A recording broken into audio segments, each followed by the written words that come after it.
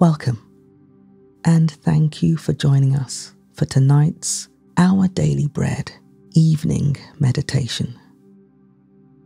God has given you this moment to slow down and be still before Him. Close your eyes and let your head gently sink into your pillow. He is here to receive you just as you are.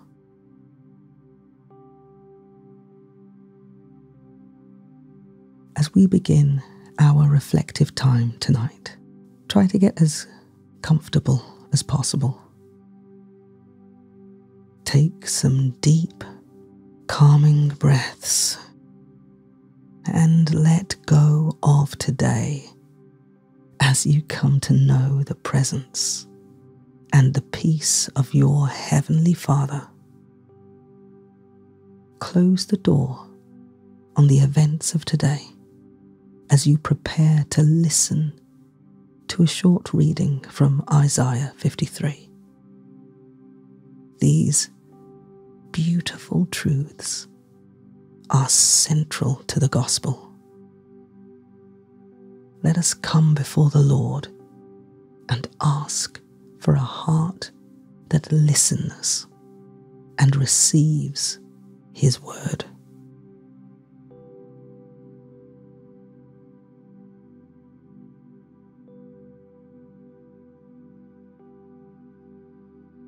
Heavenly Father, your word is truth. It is powerful. It is transformative. Open the eyes of my heart, I pray, so that I can receive what you want to say to me tonight. Speak deep into my heart as I focus on your truth. May your word come alive to me, I pray.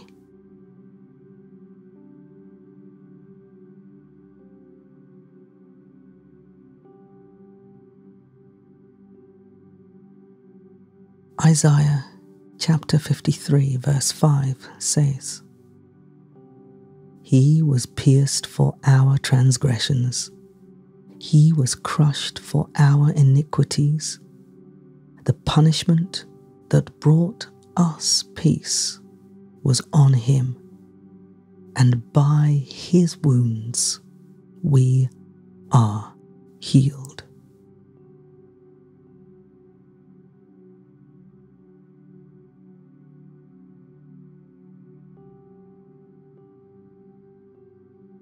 Tonight, let's consider the words Isaiah uses to describe how and why Jesus suffered for us. He says Jesus was pierced for our transgressions. That's another word for sin. The way we deliberately choose our own self interest over doing what is right. Isaiah says that Jesus was crushed. Why? For our iniquities. That means our twisted moral choices when we tricked ourselves into believing sin was okay. Then Jesus was punished. Why? Because he took on our sin. He was punished so that we can have peace with God. And finally, Jesus was wounded so that we might be healed. Healed from what? From sin, from disobedient living, from poor moral choices, and ultimately from death. He died so that we might truly live. Jesus was treated as though he had committed every one of your sins. His death paid the full penalty for everything you've ever done wrong. And his resurrection proves that the price was fully paid. Have you received this gift from him yet?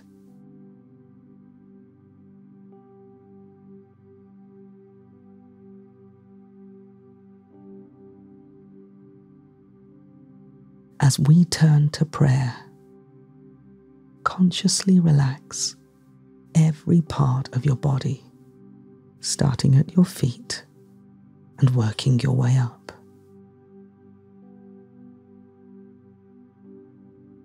When you get to your eyes, imagine you can see inside your mind.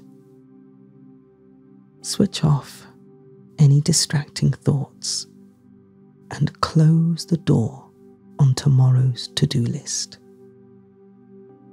Come now into the sanctuary of your heart where the Lord is waiting to hear your prayers. Breathe deeply with long, slow exhales. Breathe in.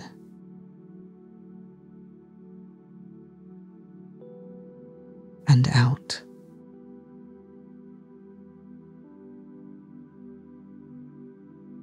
And in.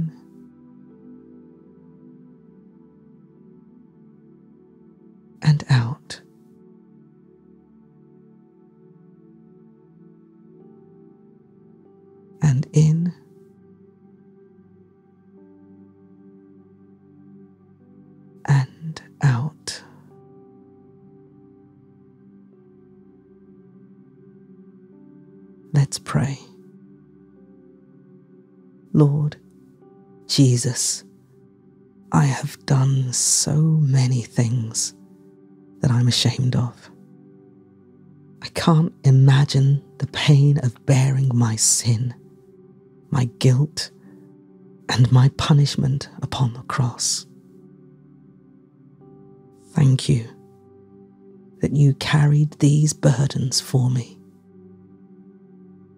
I put my trust in you tonight. I receive the forgiveness and freedom that you offer, and I trust you for my salvation.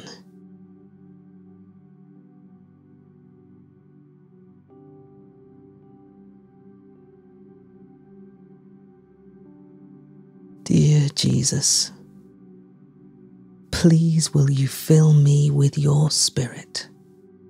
May you change my life from the inside out.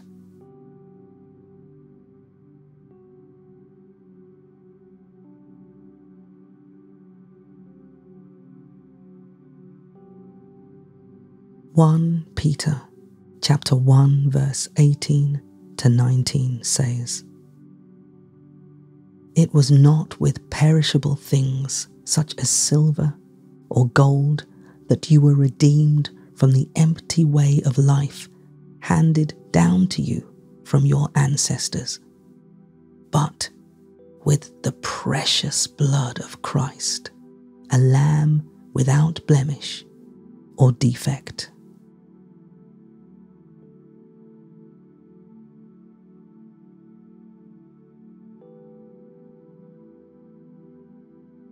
Let's close with a final prayer. Heavenly Father, thank you again that I do not need to bear the weight or punishment of my own sins. Thank you that you have provided a way that I might be saved. I offer my whole life to you and ask that you make me something special for your glory. Amen.